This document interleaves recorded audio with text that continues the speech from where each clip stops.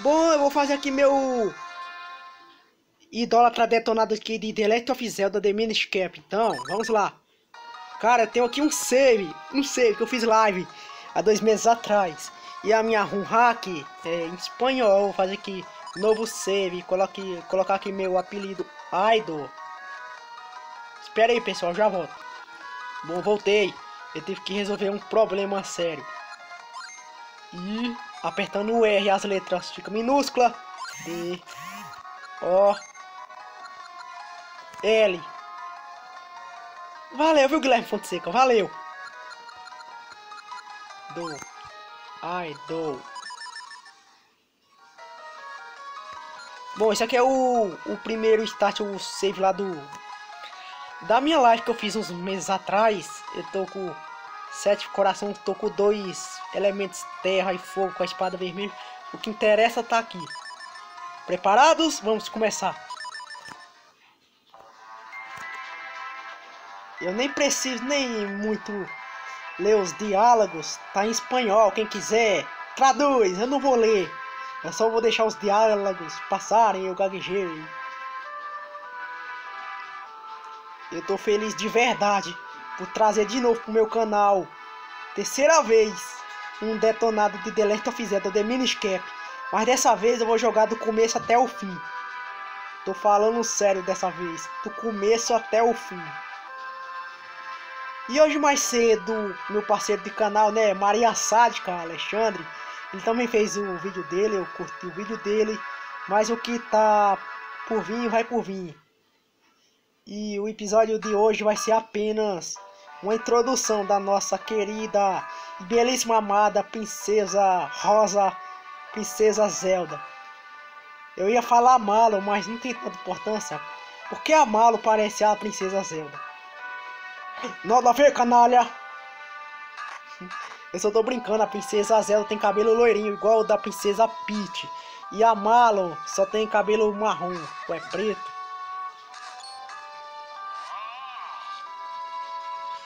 Princesa Zelda!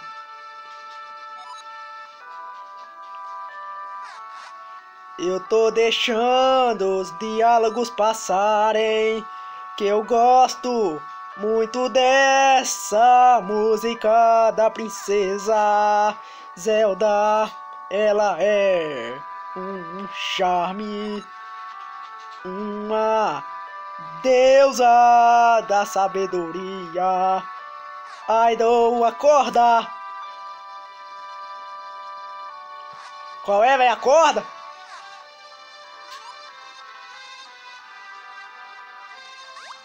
Acorda aí, filho da mãe! Bom, acordei, o Link acordou, então vamos lá começar a nossa querida gameplay. Tô com zero rúpias.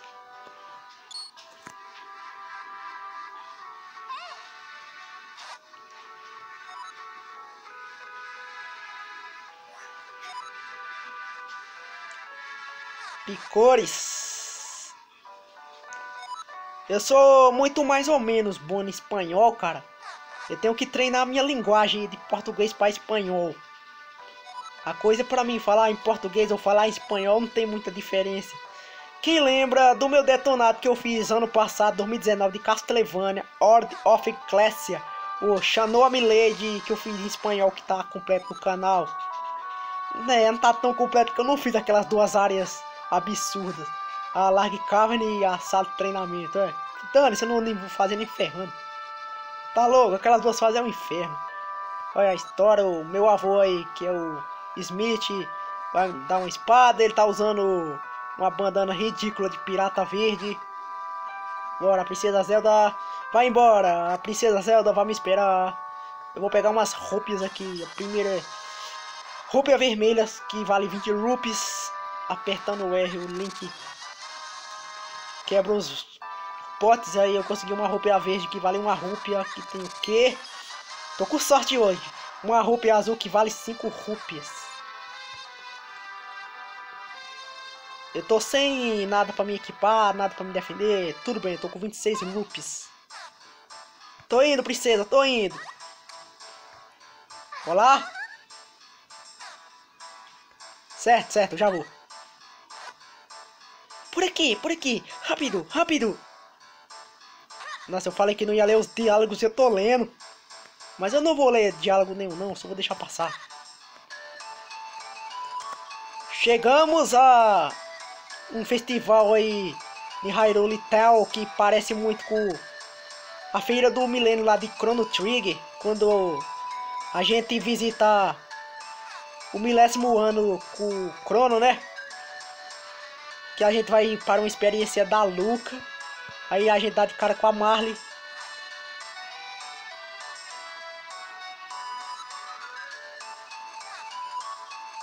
Ei, espera! Ô, oh, garotinha rápida, viu? Tá, os Minish são criaturas muito estranhas. Oi?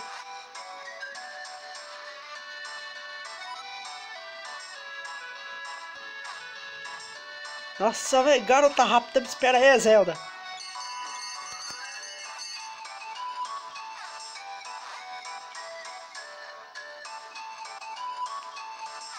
Bom, essa mulher cabelo loiro ridículo aí que é a cosplay gorda da Marley do Chrono Trigger, ela vai dar presentes especiais pra Princesa Zelda. Ou entre uma, um Height Container ou uma Rupia Red gigante. E em terceiro lugar o escudo pequenino. E adivinha o que vai dar? E adivinha o que vai dar nisso? A Princesa Zelda vai escolher, óbvio que é o escudinho pequenininho. Que vale muita porcaria, que não vale nem uma rúpia. Princesa Zelda gostou do escudo. Não vem essa desculpa não, dona. A princesa escolheu o escudo. Dá o escudo logo pra ela. Senão eu acabo com você, sua otária. Sua BR. Sua loser. E sua charuta preta.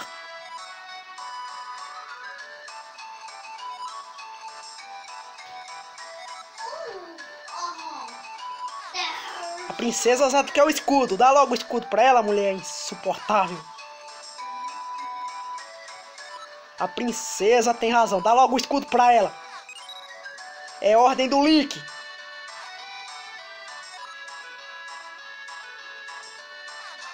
Aê! Eu ganhei um escudo pequenino. O escudo é o primeiro item do jogo. Que no jogo existe uma porcentagem de 12 itens para colecionar no nosso inventário. O escudo é a primeira coisa que a gente ganha, né?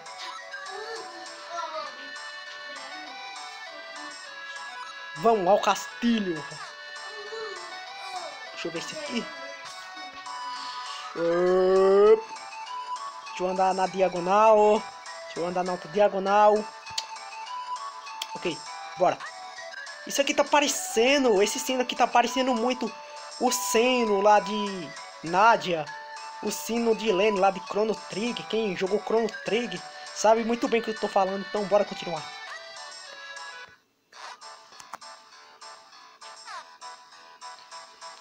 Claro, a princesa Zelda, como sempre, é apressada. Opa, olha que temos ali um Deco Scrub que atacou a princesa Zelda. Ela começa a gritar desesperadamente.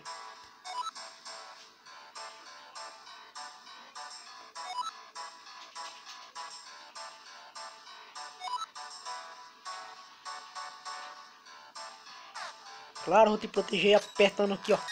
Toma! Se lascou, seu Deco Scrub lixo! Deco Scrub ruim!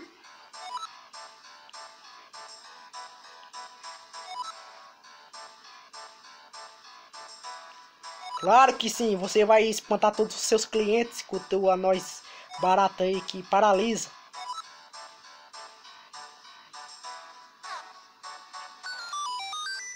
Pronto, ele foi embora e a passagem abriu. Agora vamos lá pro castelo entregar a espada para o novo vencedor que chegou aí. Cara, a única coisa que eu gosto de fazer no meu canal é jogar The Last of Zelda, Castlevania, Mario e etc. Bora. E aí, guardinha?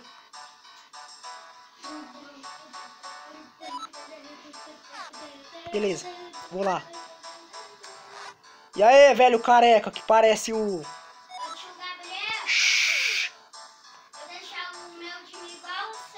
Tá bom. E aí, velho careca, que parece o, o Dr. Eggman lá do Sonic.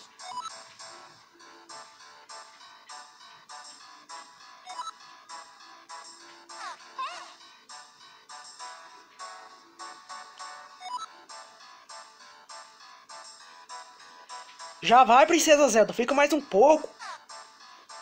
Ela não ficou, ela me ignorou. Que lindo, tomou um vácuo bonito, hein, Aidon?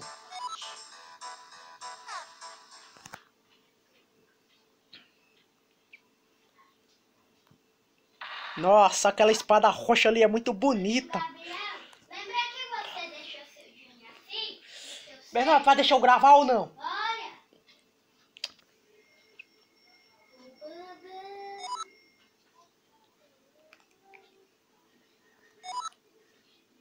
Essa espada roxa aí é muito bonita. É uma pena que essa urna parece muito aquela cena lá de God of War 1. Quando Kratos quer vingança contra o Ares. Ele pega uma tal caixa de, de poder. E a caixa tava vazia. Claro que não. Essa caixa tem um poder que ele conseguiu pegar a espada lá dos Olímpicos. Por do Olimpo. Pra derrotar o Ares. Esse é seu fim, Ares. Nossa, velho, chegou o cosplay do Magus aí, ó. O tenebroso Vat.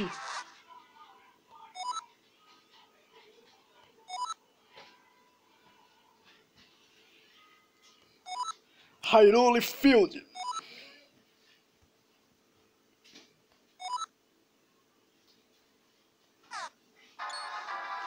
Opa, opa, ocorreu treta aí. Dois guarda-menos. Ele continua achando que é engraçado isso aí.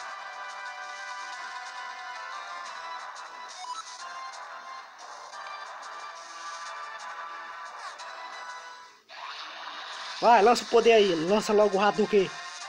Ele vai lançar o Hadouken, derruba os caras. A espada ali quebra. A urna vai abrir. E vai sair uns pokémons esquisitos, baratos. O rei é expulso. A princesa Zelda usou o tempo de um escudo ali. E vai acontecer uma treta entre a princesa Zelda e o Vat. Ela tem sim o poder da luz dourada. Ela é a Triforce da sabedoria. Quem nunca jogou dela então se Zelda Miniscap. Miniscap não, sua anta é Zelda Ocarina of Time, que a princesa Zelda revela falar que é a Triforce da sabedoria e mais coisa. E depois o Ganondorf captura ela para o castelo e o Link, que é burro, que não é tão burro assim, vai lá salvar a princesa e acabar com o diabão de uma vez por toda e enfim. Ha! Ha! Ha! Se fudeu! Vate, a urna tava vazia. Agora eu quero que você vá embora logo. Essa tua risada ridícula aí tá me lembrando muito a risada do cara das máscaras lá de Zelda Miniscap. Majora Mask. Ô, ô Link, acorda.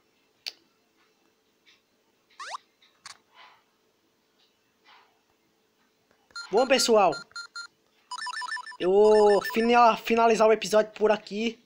Espero que vocês tenham gostado.